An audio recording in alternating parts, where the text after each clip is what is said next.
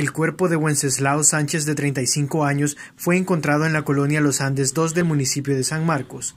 Según fuentes fiscales, el hombre había estado bebiendo cerveza con varias personas, por lo que el asesinato podría tratarse de una riña, pues el cuerpo presentaba un solo disparo a la altura del tórax.